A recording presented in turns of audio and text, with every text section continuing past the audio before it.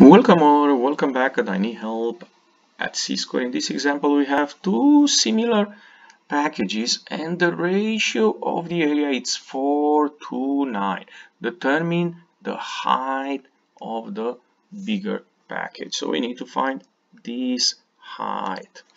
And we're going to start from this ratio of the areas which is 4 over 9. But I want you to take a look that ratio of the area which I call it r square is in this case 4 over 9 I need to find r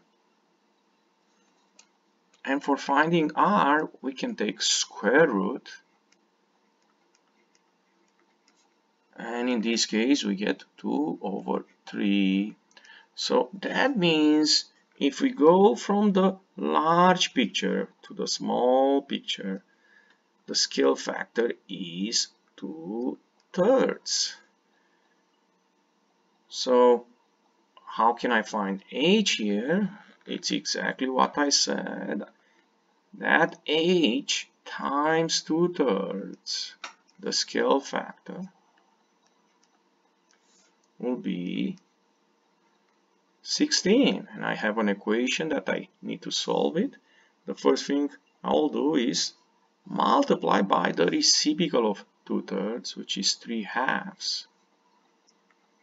By multiplying by the reciprocal, you cancel out the 2 thirds and you have h equal 16 times 3 halves. And these two cancel a 2 in the 16, right?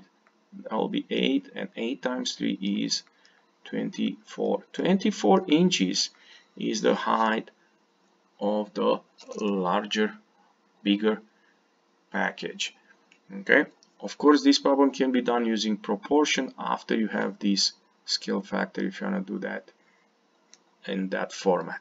If you enjoyed this clip don't forget to click the like button and come back and C square for more help. Thank you